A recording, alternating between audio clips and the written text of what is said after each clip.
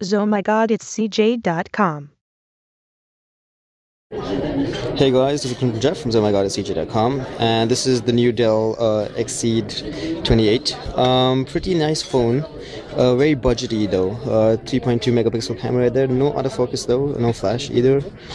Um, what else? What else? 3.5 mm jack right there, I would assume. Uh, resistive touchscreen though, so that's a bit annoying. Um, otherwise, it runs Android 2.1. Uh, I don't really know that many Android phones on um, with a resistive touchscreen, so that's a bit strange. Uh, otherwise, yeah, you can check out the detailed post on ohmygodit'scj.com. Nothing new as such. Uh, basically the same same things here and there. Um, there, there, are also touch sensitive buttons right there that you can see uh, in addition to the calling buttons. So that's pretty cool, I would imagine. Um, yeah, so that's about it. Same old, nothing actually new, but we'll have a more detailed post on the website.